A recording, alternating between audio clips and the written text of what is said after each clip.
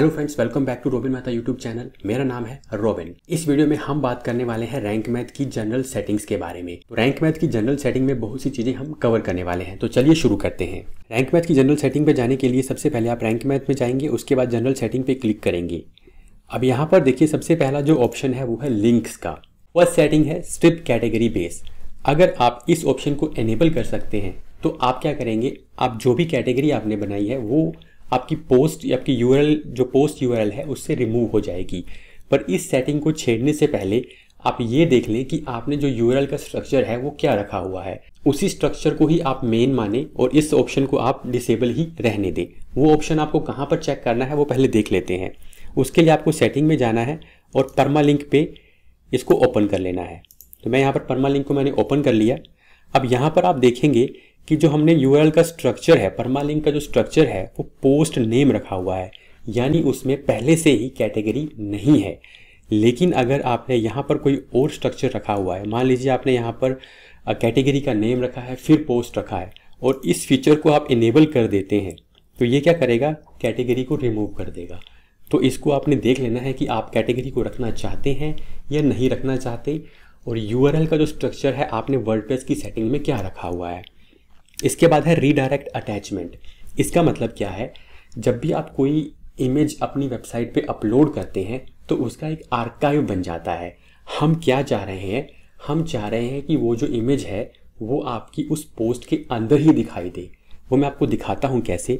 मान लीजिए मेरे पास ये एक पोस्ट है, ये मैंने ओपन की हुई है, ये एक डमी पोस्ट है, ठीक है? यहाँ पर एक इमेज आ रही है। अब इस इमेज को जब मैं न्यू टैब में ओपन करता हूँ तो आप यहाँ पर देखेंगे कि डब्ल्यू पी कॉन्टेंट अपलोड और फिर वो आपकी इमेज आ जाएगी, ठीक है? यानी ये इमेज जो है हमारी अलग से इसका एक यू क्रिएट हो रहा है। ये एक कॉमन आर्काइव में नहीं जा रही, ये रिडायरेक्ट हो रही है। तो अगर आप, हमें क्या करना है? एस के पर्पज़ के लिए हम क्या करते हैं? इसको ऑल अटैचमेंट को जो है उसी उसी के लिए एक अलग जो पेज बना है, उस पर रिडायरेक्ट कर देते हैं। तो इसको सिंपल भाषा में इस तरह से समझना है कि आप जो भी रीडायरेक्ट अटैचमेंट है, चाहे वो इमेज है, चाहे वो पीडीएफ है, उसको आपने रीडायरेक्ट करना है। यानी इस फीचर को आप क्या रखेंगे? एनेबल रखेंगे। इसके बाद है रीडायरेक्ट ऑर्फन अटैचमेंट अब मान लीजिए कोई ऐसी अटैचमेंट है जिसका कोई भी पेरेंट पोस्ट नहीं है पेरेंट यूआरएल नहीं है तो उसको क्या करेंगे हम? एक किसी भी, हम मान लीजिए हमने यहाँ पर होम पेज डाला हुआ है तो ये करेगा, उसको होम पेज पे रीडायरेक्ट कर देगा। ठीक है? तो ये भी आप सेटिंग्स कर सकते हैं। नो फॉलो एक्सटर्नल लिंक्स तो अगर आप सभी नो जो एक्सटर्नल लिंक्स हैं, उनको नो फॉलो करना चाहते हैं तो आप इस फीचर को इनेबल या डिसेबल कर सकते हैं। इनेबल करेंगे तो नो फॉलो हो जाएँगे बट हम ऐसा नहीं चाहते हैं। हम नहीं चाहते कि जितने भी हमारे एक्सटर्नल लिंक्स हैं, वो नो फॉलो हों। कुछ लिंक्स जो हैं हमारे, वो फॉलो भी होने चाहिए। No follow image file links अब कोई एक्सटर्नल इमेज है उसको भी सभी इमेजेस को हमने नो फॉलो नहीं करना है। तो अगर यहाँ पर आपने सेट कर दिया ऑन तो जब भी आप इमेज अपलोड करेंगे तो वो बाय डिफ़ॉल्ट नो फॉलो हो जाएगी। तो यहाँ पर हमें नहीं करना है। हम पोस्ट के अंदर जाकर ही उसको नो फॉलो या डू फॉलो अपनी मर्ज़ी से करने वाले हैं। ठीक है? Open external links in new tab तो इसको आप इनेबल रख सकते हैं, क्योंकि ये ज़रूरी है। जो भी आप नया लिंक ओपन करेंगे या इंटरनल हो, चाहे वो एक्सटर्नल हो, वो न्यू टैब के अंदर ही ओपन होना चाहिए। तो चलिए इसके बाद नेक्स्ट ऑप्शन पे चलते हैं ब्रेड क्रम्ब अब ब्रेड क्रम्ब क्या होता है? ब्रेड क्रम्ब का मतलब है, जैसे मान लीजिए मैंने अपनी वेबसाइट के अंदर कोई एक पोस्ट बनाई है, उसको मैंने एक कैटेगरी में डाल दिया है, ठीक है? तो अब जब मैं उसको होम पेज जब मैं उस पोस्ट को ओपन करने वाला हूँ तो वो मुझे कैसे दिखाई देगी? सबसे पहले होम आएगा, फिर वो कैटेगरी आएगी, और फिर लास्ट में क्या आएगा? उस पोस्ट का नाम आएगा। अभी यहाँ पर देखिए अगर सबसे पहले ये फीचर अगर डिसेबल है, ठीक है, पहले आपको क्या चेक करना है? पहले आपको ये चेक करना है कि कहीं आपकी थीम के अंदर ब्रेड क्रम का ऑप्शन तो नहीं है। अगर थीम का ब्रेड क्रम का ऑप्शन ऑन है तो फिर इसको ऑन करने की ज़रूरत नहीं है। तो मैं आपको एक बार दिखा देता हूँ, मैं इसको सेव चेंजेस कर लेता हूँ। यहाँ पर हम जो है वो थीम यूज़ कर रहे हैं ब्लॉक्सी ठीक है? तो ब्लॉक्सी थीम के अंदर ब्रेड क्रम का ऑप्शन कहाँ है? पहले हम वो देख लेते हैं। तो जैसे मैंने यहाँ पर ब्लॉक्सी में अपीरेंस में गए हम, ठीक है कस्टमाइज में गए, यहाँ जनरल पे क्लिक करेंगे और उसके बाद ये ब्रेड क्रम का जो ऑप्शन है इसको ओपन करेंगे। तो सबसे पहले यहाँ देखिए ये बाय डिफ़ॉल्ट इसका ब्रेड क्रम्प का ऑप्शन जो है ऑन है, यानी कि अभी जो है थीम का जो ब्रेड क्रम्प है वो ऑन है, वो कैसे है? तो मैं एक बार ये पेज ओपन कर लेता हूँ और यहाँ पर आप देखेंगे, ये देखिए, ये होम आ रहा है न्यूज़ आ रहा है और फिर उस पोस्ट का नाम आ रहा है। तो अभी जो ये ब्रेड क्रम दिखाई दे रहा है, वो हमारा थीम का बाय डिफ़ॉल्ट जो है, वो है, ठीक है? अगर आप रैंक मैथ का ब्रेड क्रम यूज़ करना चाहते हैं तो आपको क्या करना है, वो मैं आपको बता देता हूँ। तो ये जो ऑप्शन है, वो हर थीम के अंदर अलग अलग मिलेगा। आप जो भी थीम यूज़ कर रहे हैं, उसका ब्रेड क्रम का ऑप्शन आपको चेक करना पड़ेगा। जैसे कि अगर आप जनरेट प्रेस यूज़ कर रहे हैं तो उसमें ये ऑप्शन नहीं होगा।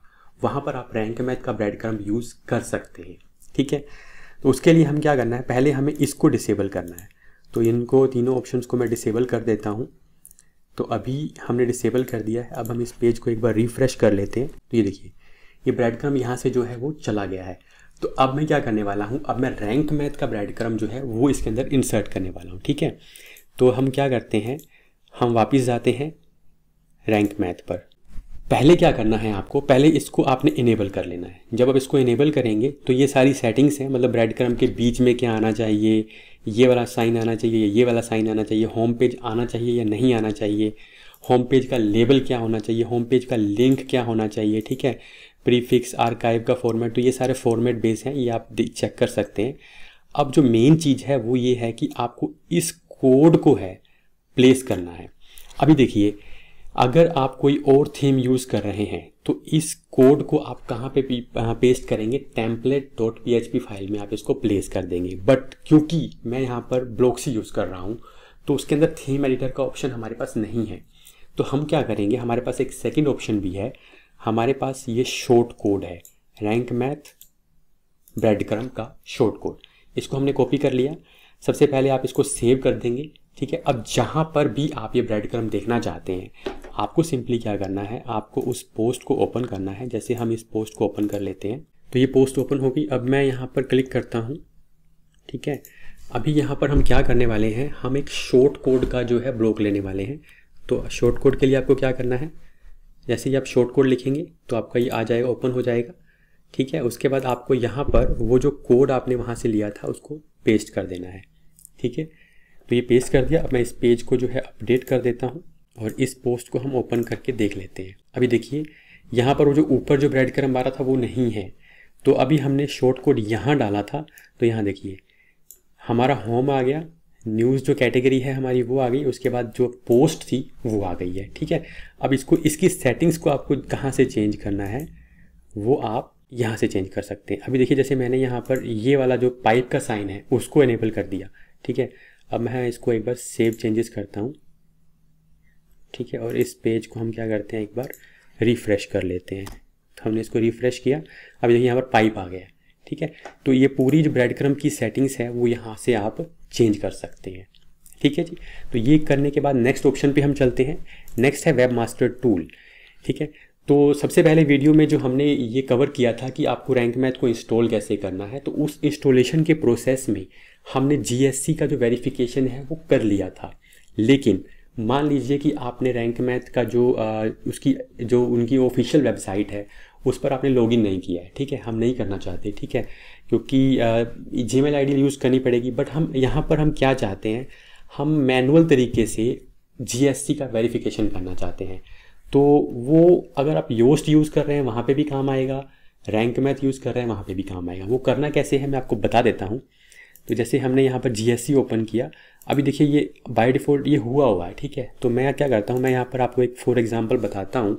जैसे कि हमने क्या किया, एक प्रॉपर्टी को ऐड किया और यहाँ पर जो है,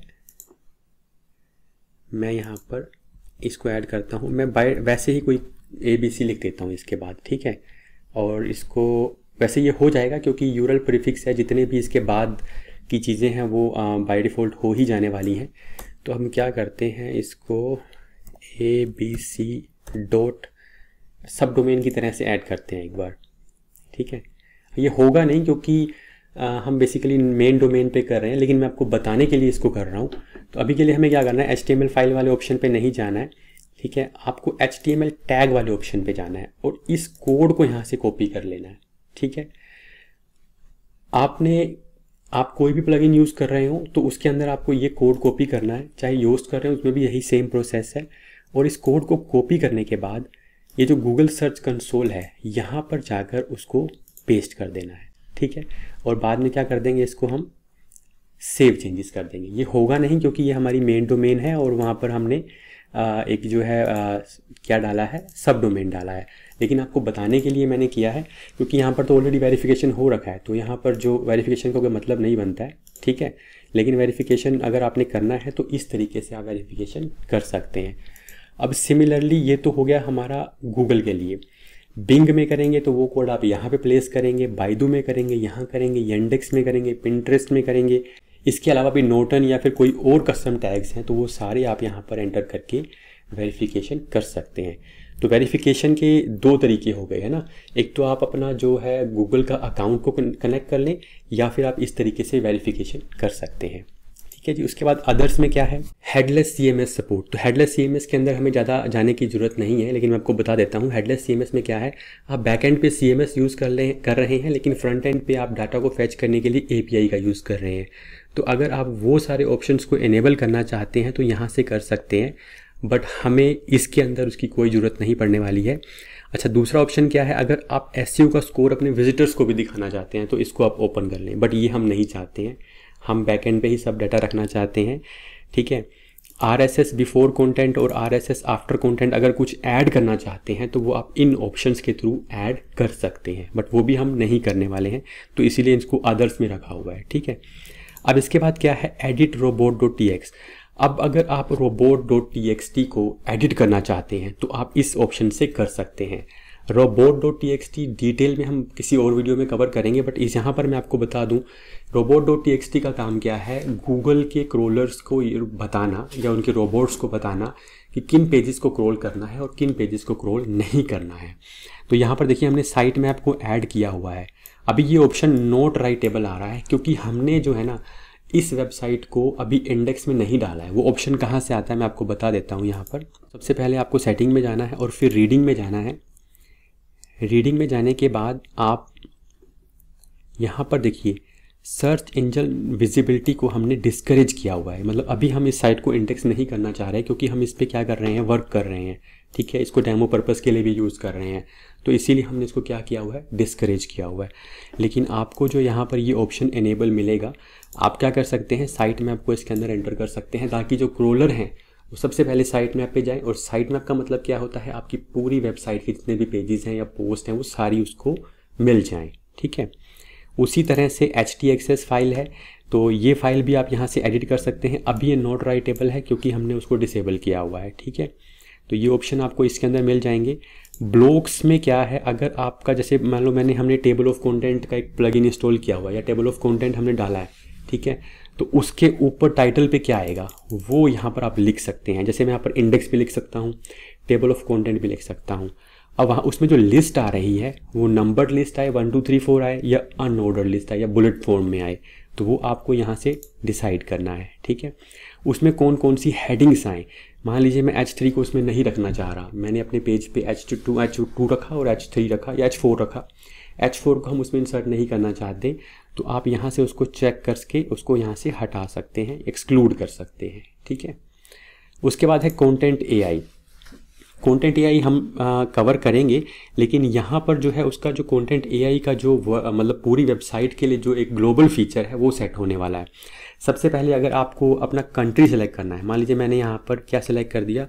यूनाइटेड स्टेट्स अगर हम यहाँ पर सिलेक्ट कर लेते हैं तो अब हमारा जो हमारा जो कंटेंट एआई जो लिखने वाला है कंटेंट वो यूएस के हिसाब से लिखने वाला है ठीक है? टोन यहाँ पर हमने फॉर्मल सेलेक्ट किया तो सभी में बाय डिफ़ॉल्ट फॉर्मल आएगी आप उसको चेंज कर सकते हैं। ऑडियंस यहाँ सर आप आप डिफाइन कर सकते हैं कि आप किन को आ, किस ऑडियंस को एड्रेस करना चाह रहे हैं। जैसे यहाँ पर देखिए गार्डनर्स हैं ठीक है? तो अगर आपकी वेबसाइट गार्डनिंग पे है तो आप यहाँ पर गार्डनर सेट करके रख दें क्योंकि जितना भी आपका कंटेंट होगा वो गार्डनर्स के लिए होने वाला है। हेल्थ केयर के लिए पेरेंट्स के लिए पेट ओनर्स के लिए तो ये सारे ऑप्शंस आप यहाँ पर सेट कर सकते हैं ऑडियंस को पहले से ही।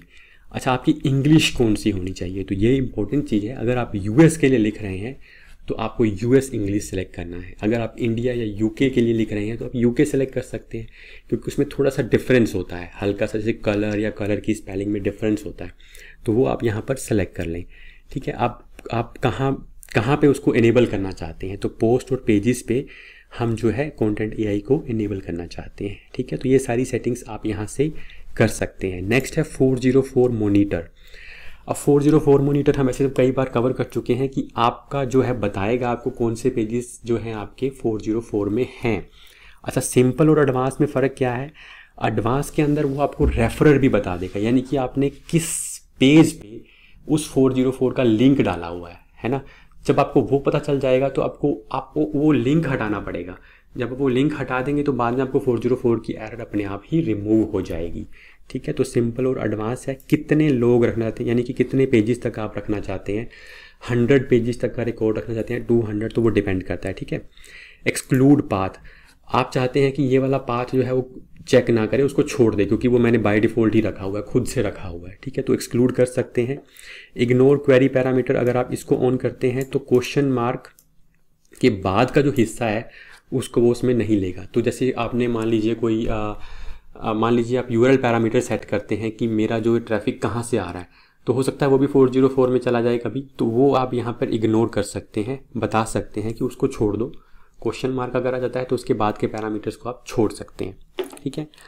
उसके बाद है रीडायरेक्शन की सेटिंग तो फ़र्स्ट ऑप्शन है डीबग रीडायरेक्शन मतलब ये चेक करेगा कि आपका जो रीडायरेक्शन है वो सही है या नहीं है. ठीक है तो इसको इनेबल या डिसेबल कर सकते हैं. फॉल बैक बिहेवियर तो अगर कोई पेज 404 है तो वहाँ पर वो क्या दिखाएगा? मान लीजिए मैंने जैसे यहाँ पर ये एक पेज ओपन किया. ठीक है, मैंने यहाँ पर ए बी एस लिख दिया. ठीक है तो अभी क्या आ रहा है? बाय डिफ़ॉल्ट ये पेज आ रहा है। ये 404 आपको जो डिस्प्ले हो रहा है। लेकिन अगर हम यहाँ पर होम पेज सेलेक्ट कर देते हैं और इसको सेव कर देते हैं और फिर अब इस पेज को एबीएस को हम रिफ़्रेश करते हैं तो आप देखेंगे कि ये होम पेज पे चला जा रहा है। तो आप यहाँ पर कोई कस्टम पेज भी बनाकर और वो यहाँ पर एंटर कर सकते हैं कस्टम रीडायरेक्शन में। मतलब आप एक अलग से 404 पेज बनाएँ और उसका यू यहाँ पर एंटर कर दें। जब भी 404 की इशू होगा तो वहाँ पर वो पेज दिखाया जैसे आपने कई बार देखा होगा, किसी वेबसाइट पर 404 आता है और बोला जाता है कि आप होम पेज पे जा सकते हैं या फिर ये सर्च कर सकते हैं तो वो आप पेज बनाकर उसका यू एल यहाँ पर एंटर कर सकते हैं। रीडायरेक्शन किस टाइप का करना है? परमानेंट रीडायरेक्शन 301 है टेम्परी रीडायरेक्शन 302 है, या फिर इसके अलावा ये भी सारे जो रीडायरेक्शन के टाइप हैं तो आप यहाँ पर 301 परमानेंट मूव सेलेक्ट करके छोड़ सकते हैं। Auto post redirect auto post redirect का काम क्या है? आपको इसमें खुद से रीडायरेक्शन नहीं करना है। ये जब भी आपने किसी पोस्ट का यूरल चेंज किया तो ये अपने आप से उस पेज को क्या कर देगा? रीडायरेक्ट कर देगा ठीक है? आ, आपको यहाँ पे कस्टम रीडायरेक्शन में कहीं पर भी आपको ये रीडायरेक्ट करके दे देगा। तो यहाँ पर आपको क्या करना है? इन सारे चेंजेस को सेव कर देना है। इसके बाद नेक्स्ट सेटिंग्स है एनालिटिक्स तो अगर आपकी वेबसाइट जीएससी में सबमिटेड है तो आपकी वेबसाइट यहाँ पर जो है डिस्प्ले हो जाएगी। नेक्स्ट है एनालिटिक्स तो एनालिटिक्स जी ए फोर भी हमने इसके अंदर डाला हुआ है। तो ठीक है तो वो यहाँ पर आपका जो अकाउंट आ जाएगा दैन यहाँ से आप उस प्रॉपर्टी को सिलेक्ट कर सकते हैं। और उसके बाद ये थर्ड जो ऑप्शन है, यहाँ पर आपका डेटा स्ट्रीम में आ जाएगा। शाउट एंड राइज जो भी हमने पहले सेलेक्ट किया था। तो एनालिटिक कोड है, वो इंस्टॉल्ड है। ये जो फीचर है, ये प्रो के फीचर हैं, ठीक है? तो आप इसको क्या करें? सेव कर दें। इसके बाद जो है एडसेंस वगैरह है, ये सारा प्रो का है, ठीक है? डाटाबेस कहाँ तक रखना है? ईमेल की अगर रिपोर्ट अगर आप अपनी ईमेल आईडी पे लेना चाहते हैं तो आप यहाँ पर इसको ऑन कर दें। ईमेल फ्रिक्वेंसी को आप चेंज नहीं कर सकते बट इसको ऑन करके आप जो है ईमेल की रिपोर्ट अपनी ईमेल आईडी पे ले सकते हैं। तो ये हमने जो है जनरल सेटिंग्स को कवर कर लिया है। ठीक है दोस्तों, मिलते हैं नेक्स्ट वीडियो में।